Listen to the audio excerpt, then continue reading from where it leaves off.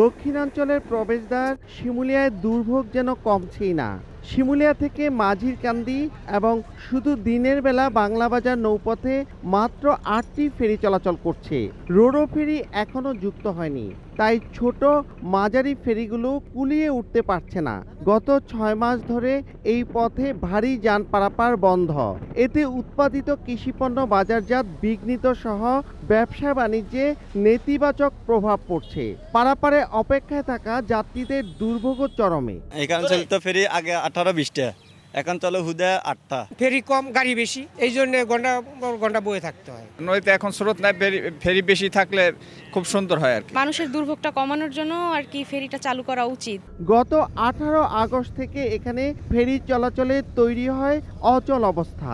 আট নভেম্বর থেকে শিমুলিয়া বাংলা বাজার দিনের বেলায় এবং পরবর্তীতে তেরো ডিসেম্বর থেকে পদ্মা সেতুকে এড়িয়ে শিমুলিয়া মাঝির কান্দি নৌপথে ফেরি চলাচল শুরু হয়। তবে ফেরি স্বল্পতায় দুই পারেই যানজট লেগে থাকছে। আটটা ফেরি দিয়ে আমরা ফেরি পরিচালনা করতেছি এবং দুপারে চাপের কারণে আরও কিছু ফেরি বাড়ালে ফেরি চলাচল স্বাভাবিক থাকবে। শিমুলিয়া থেকে পদ্মা পারাপার করছে সাতাশি লঞ্চ ও একশো এক স্পিড বোট শিমুলিয়া থেকে পদ্মা সেতু অতিক্রম করে বাংলা বাজারের দূরত্ব প্রায় এগারো কিলোমিটার।